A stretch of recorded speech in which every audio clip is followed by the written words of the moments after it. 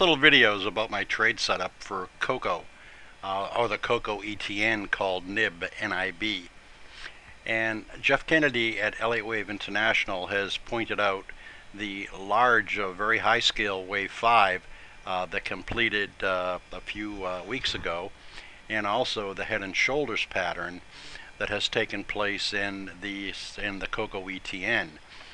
And what I'm doing is I'm looking for a setup next week of a wave 2 which will if correct provide a setup to enter at the earliest stage possible the third of a third wave which is almost always uh, the fastest and most uh, broadly traveled wave. So it should be a good trade setup. I'm looking eventually for cocoa to get down to about 30 or so from my initial estimates before there's any significant retracements.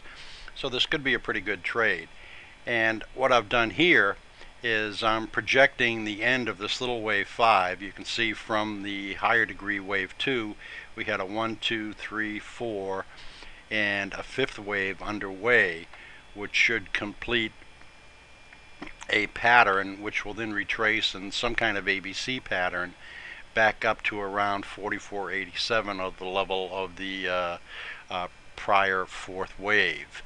Uh, but the important thing is that I'm looking for this wave to complete around 4097, 4177.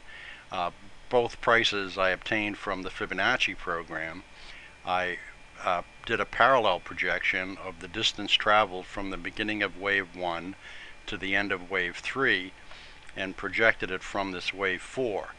And traditionally, or very often, the travel of the fifth wave will be about 68% of the travel from point zero to the bottom of point three. And I also did an external retracement of wave four. And that was 127%, and that was the 4097 projection. So I'm looking for this little fifth wave to end around this area uh, early next week. Uh, but the important thing is the ABC retracement pattern and once this little fifth wave completes, I'll be able to do some price and time projections uh, for the likely end of wave two, and then we'll get closer to a setup. I'll follow up on this uh, early next week uh, if this goes as anticipated, and we'll see what kind of information we can draw from the uh, price charts.